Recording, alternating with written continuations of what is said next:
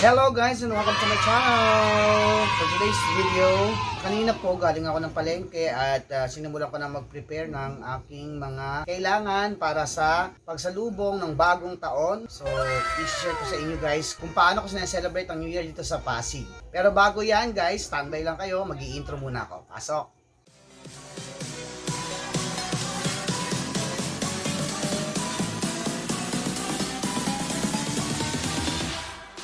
Hello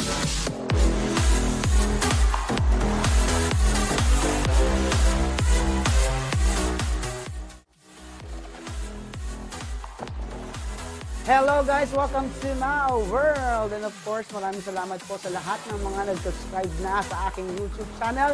At sa mga hindi pa po nakapag-subscribe, please subscribe James World at pakihit na rin po ang like at ang bell button para lagi po kayong updated sa aking mga bagong videos. Maraming salamat!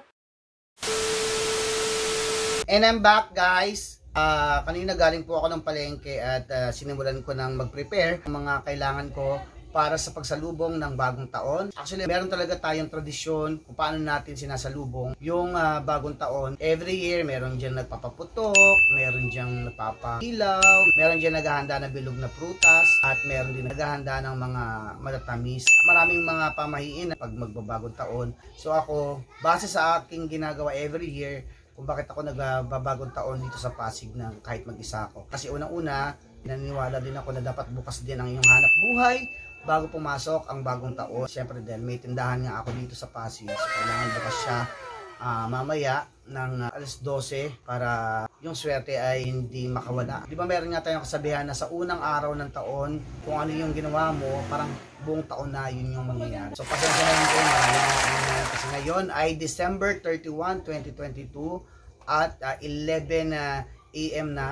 So ako, ang uh, sistema ko pagdating sa ganito, hindi ako masyadong magarbo guys. Isa sa mga pinaniniwalaan ko para maging masagana ang buong taon ko, guys, naghahanda ako ng mga bilog na prutas. Yun i-share ko sa inyo din. Kaya naman guys, ito yung bag. Simulan natin to sa dahil tayo budget-budget lang para hindi masyado magastos. Sabi nila, dapat at least meron 12 na prutas na bilog. Hindi ko alam kung 12 po yung nabili ko or 13. Yan, meron ako ditong uh, biniling pongkan. Meron din ako nabiling peras. Meron tayong orange. Uh, pang-apat, suha. And then, bumili ako ng chico. Bumili rin ako ng ubas, guys. Meron rin akong biniling melon. Bumili rin ako ng apple. Pang 9 na fruits ko is guava. Yan, so yung parang imported na bayabas yata to. And then may binili rin akong uh, papaya. Then meron din akong biniling longgan. O, bumili rin ako ng persimmon. And then kiwi. Yan yung ating 30 na piraso. I guess 13 to bilangin ko na. 1, 2, 3, 4, 5, 6, 7, 8, 9, 10, 11, 12. 13 na klase ng prutas na ihahanda ko mamaya sa ating medianoche. Sabi nga nila, kailangan may matamis din. Ayan, binili akong, yes, ito. kasabag cake guys, sa palengke, oh grabe, 220 pesos. Aside dito, meron din akong uh, i-ready na buko salad guys. 'Di ba meron nga tayong natanggap na mula sa Pasig City ang pamaskong handog. So ihanda natin ngayon 'yon pandagdag sa ating pang medianoche. And then, meron tayong syempre pang ulam. Mamaya, babalik tayo para i-share ko sa inyo kung ano ang buong ganap ngayong magbabagong taon dito sa lugar ko dito sa may Pasig City. Kaya naman, stay tuned lang kayo dyan. See you later! Many hours later. Yes guys, I'm back. So tapos na tayong mag-prepare ng ating pang medianoche ngayon. Grabe nakapagod. Marami na nagpuputukan sa labas. Time check muna tayo. It's uh, Anong oras na ba? Muna sa relo. Lapla ko relo. So 7.42 uh, na. So mag-aalas 12 na. Ilang oras na lamang. Dahil nag-prepare na nga tayo ng mga giging handa sa medianoche guys ituro po kayo ng konti sa aking mga inihanda syempre hindi mawala yung ating uh, 30 na klase ng bilog na prutas guys so, ang ginagawa ko usually pag bagong taon Nilalagay ko dito yung uh, charm ko na ano yung year ng taon na to. Kasi ngayon ay Year of the Rabbit. So bumili ako ng Year of the Rabbit. So taon-taon yan. So 11 years ko nang ginagawa yan guys. Na bumibili ako ng Lucky Charm na ganyan para kahit pa paano ay gabayan tayo ng uh, swerte. Yun, uh, siguro mawala man tayo ng uh, konting uh, blessing pero may mga papalit na mas maraming blessing. So meron din tayong prepare ngayong araw na to guys. Siyempre ang sarili kong version na minudo guys. Charot. And of course kanina bumili rin ako ng kasaba cake kasi kailangan daw yan pag uh, mag New Year yung sweets.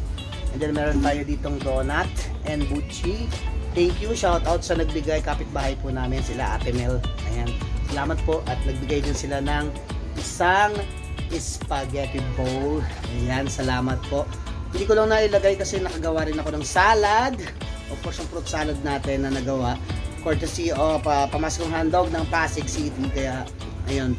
So, kahit paano meron tayong handa. Hindi man ganun kadami. Pero, sure ako na magiging masagana ang ating pagsalubong ng 2023. Guys, mamaya ituro ko kayo sa labas. Ipakita ko sa inyo kung paano sila celebrate